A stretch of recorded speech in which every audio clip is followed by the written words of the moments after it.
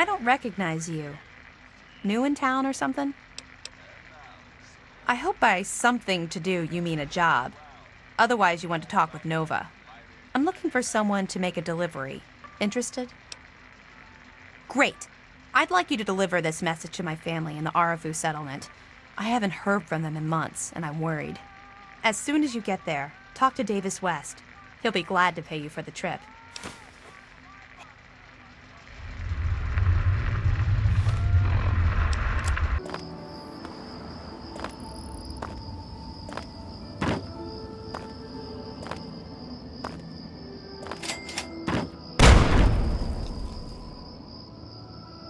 Hang on, you're not one of them.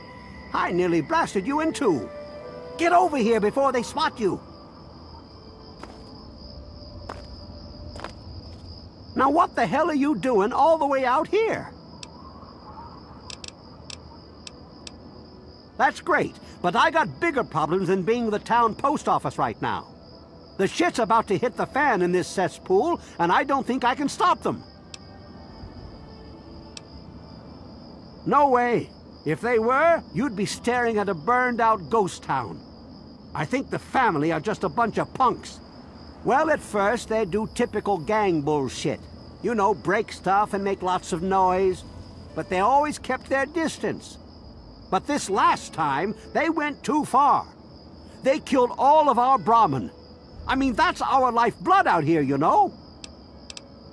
Ah, look, you can call me crazy if you want. But there is something odd about those creeps. I mean, they got the guns and they got the muscle. Why don't they just bust down our doors and take us out already? We're really in a bad way and could use some help. I don't want to take my eyes off the ramp here. There's no telling when the family will return. Can you do me a favor and check on the other people's houses here? You know, make sure they're doing okay? Speak with Davis West, Karen Shenzi, and Ken Ewers. I can't take that. You're just going to have to bring it to the West yourself.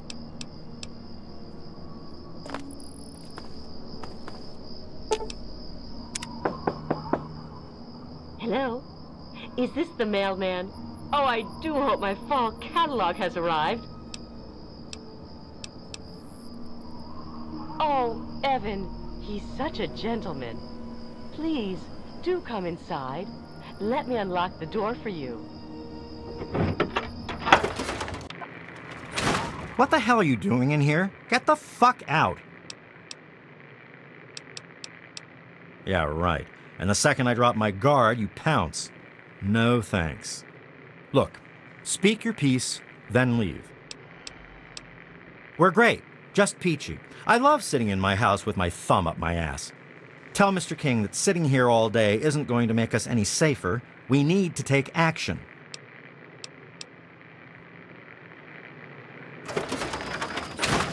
Watch it, will you?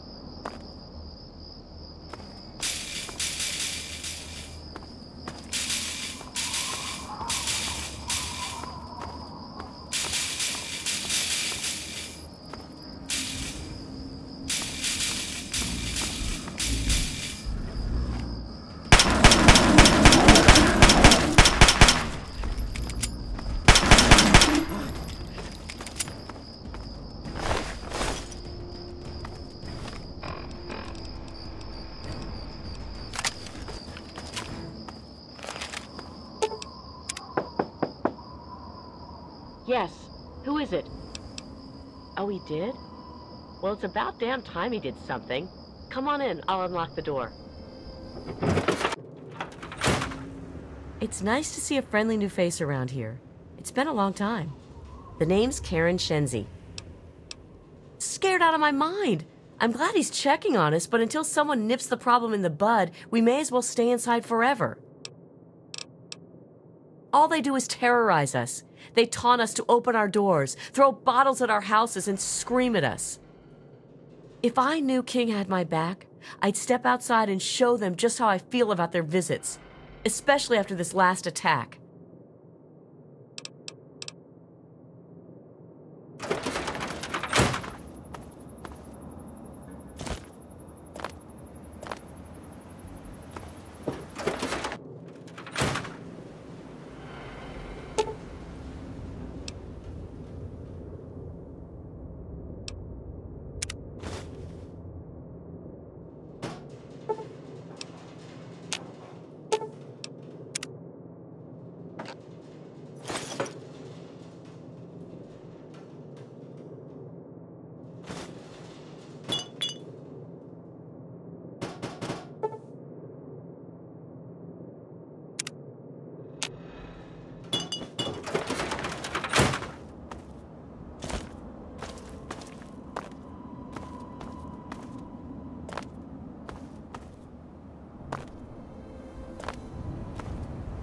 What did they tell you? Everyone okay?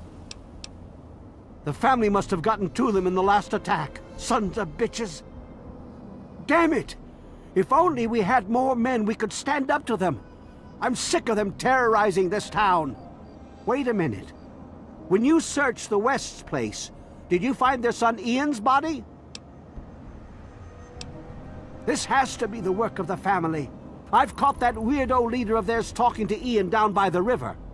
Look, I know I've asked a lot of you already, but you have to find that kid.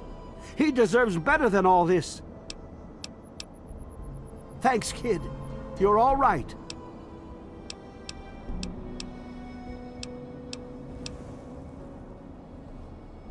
Well, yeah, actually. Meresti train yard, almost due east of here. What? The family must be a pack of cannibals. Oh, this is all I needed right now. What am I going to do? They'll keep coming back until all of us are dead if they think we're food. I think they live somewhere east or northeast of here. Problem is, they always travel in the dark, so I can't see exactly where they go. There's all kinds of places they could be hiding, like Hamilton's Hideaway, the old Moonbeam Cinema, or Northwest Seneca Metro Station. Next time I see the family, there's gonna be hell to pay.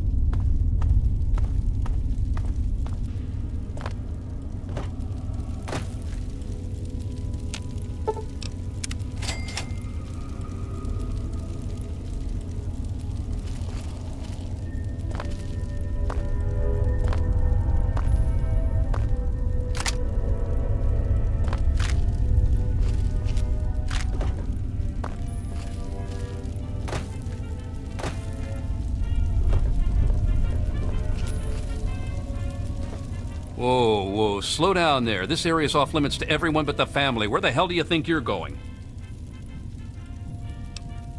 All right, all right. I guess you look harmless enough. If I were you, I'd speak to Vance before you poke around too much. You can usually find him on the mezzanine overlooking the common area.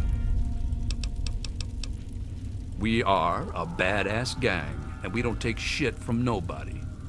We also don't like nosy assholes who creep around asking too many stupid questions.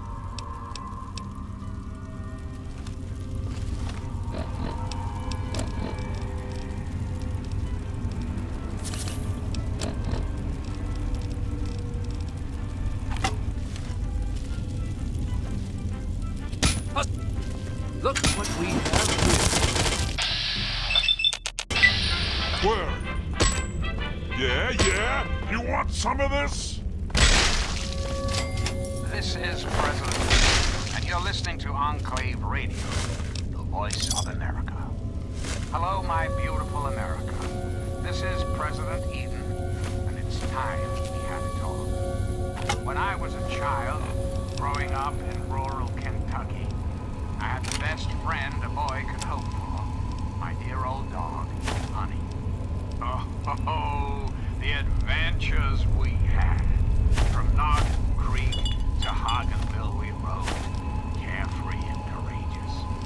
Irresponsible. And completely inseparable. It was, for a little boy, the perfect existence. So, let me ask you, America. How many of your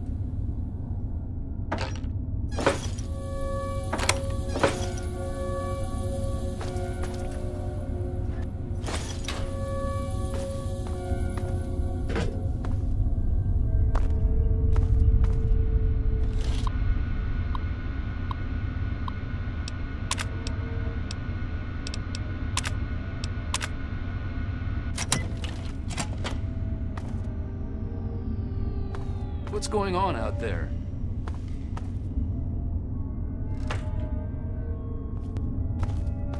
I thought I heard guns. What's going on? Who are you? Yeah, I guess I should have known this would happen. You think I don't know that? You think I don't know what I did? I killed them! My own parents! It was the fucking hunger. That thing that's haunted me my entire life. You must think I'm some sort of monster. There's something inside me, something completely messed up. I'm a mutant, a freak. The only person I was ever able to talk to was my sister Lucy, and she's gone. No one gives a shit about me except Vance and the family. Can't you understand that? He's dead? You killed him? But he was my only chance to understand what the hell is happening to me. She. she really misses being home, and she's asked about me in here a lot. I think I had it all wrong. I shouldn't have come here. I bet Lucy is feeling just as bad as me. Go back to Arefu and tell Evan King that I'm coming home. I have a few things to pack, and I want to say my goodbyes to this place alone.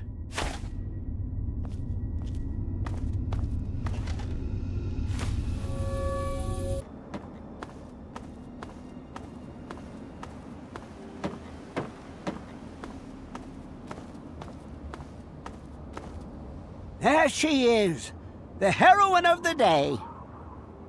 I know. I talked to Ian, and he told me everything you did. I don't know how you did it, but goddamn am I glad you walked up that ramp and lent us a hand. Thanks again, kid. Consider yourself welcome back here any time you're in this part of the wastes. Come on back soon. I may have some stuff for you.